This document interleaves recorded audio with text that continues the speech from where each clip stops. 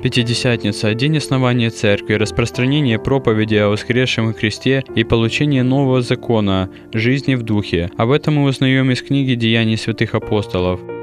При наступлении Дня Пятидесятницы все они были единодушно вместе, и внезапно сделался шум с неба, как бы от несущегося сильного ветра, и наполнил весь дом, где они находились, и явились им разделяющие языки, как бы огненные, и почили по одному на каждом из них, и исполнились все Духа Святаго, и начали говорить на иных языках, как Дух давал им провещевать.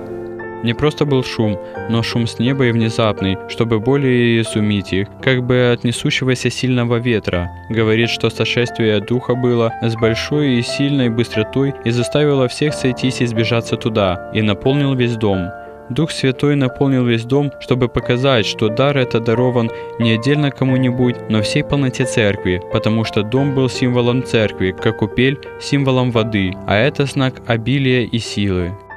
В Иерусалиме же находились иудеи, люди набожные всякого народа под небом. Когда сделался этот шум, собрался народ и пришел смятение, ибо каждый слышал их говорящих его наречием.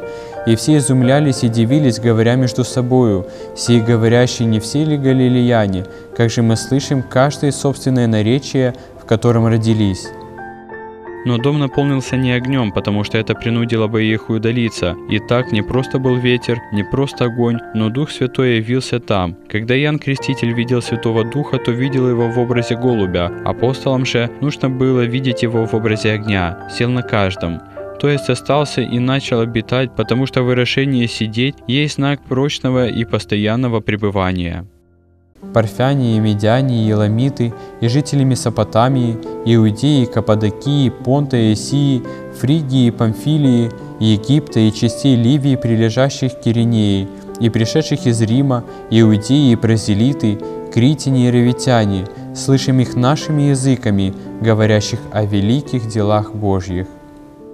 На кого же сошел Святой Дух? На 12 ли только или на 120? Ясно, что на всех, потому что апостол Петр не напрасно приводит слова пророка, когда говорит «И будет последние дни, говорит Господь, излию Духа Моего на всякую плоть». И они не просто приняли, но исполнились от Духа Святого, и притом не только апостолы, но все, писал в своих трудах святой Феофилакт Болгарский.